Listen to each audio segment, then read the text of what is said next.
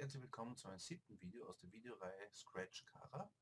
Und hier äh, gehen wir der Frage nach, was sieht eigentlich Kara?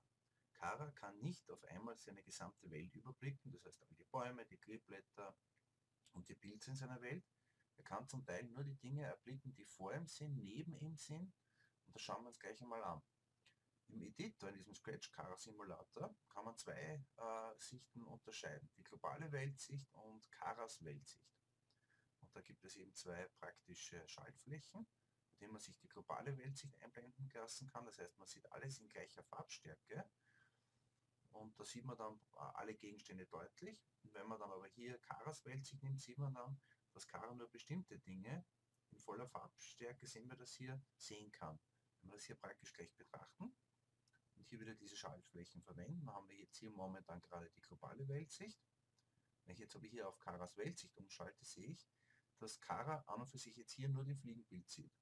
Von diesem Kleeblatt, das hier ist, hat er keine Ahnung und dergleichen mehr. Wenn ich jetzt hier ein Kleeblatt zum Beispiel nehme, sieht das Kleeblatt auch noch nicht.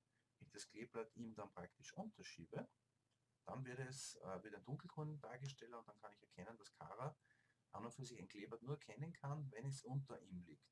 Und hier zum Beispiel diesen Pilz, der vor ihm liegt.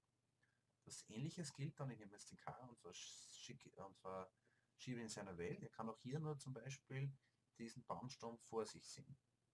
Bei Baumstümpfen gibt es aber insofern eine Besonderheit, dass Kara auch einen Baumstumpf rechts von sich und einen links von sich dann zum Beispiel betrachten kann.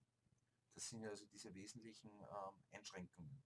Also Baumstümpfe kann er unmittelbar vor sich, links und rechts betrachten, unter sich nicht natürlich, weil Kara nicht in einen Baumstumpf hineinrennen kann.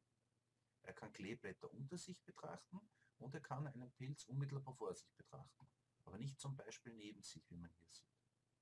Weiteres zu Scratch Cara dann in den nächsten Videos.